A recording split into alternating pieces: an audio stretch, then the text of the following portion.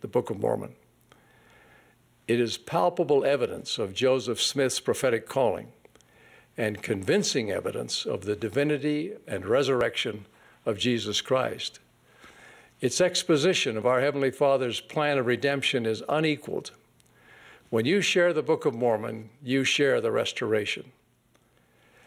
When Jason Olson was a teenager, he was warned repeatedly by family members and others against becoming a Christian.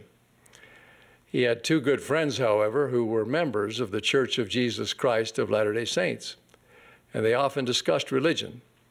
His friends Shay and Dave respectfully countered arguments that others had given Jason against faith in Jesus Christ. Finally, they gave him a copy of the Book of Mormon, saying, This book will answer your questions. Please read it. He reluctantly accepted the book and put it in his backpack, where it stayed for several months.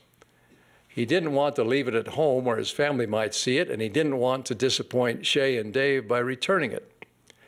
Finally, he settled on the solution of burning the book. One night, with a lighter in one hand and the Book of Mormon in the other, he was about to set fire to the book when he heard a voice in his mind that said, Do not burn my book. Startled, he paused. Then, thinking he had imagined the voice, he attempted again to ignite the lighter.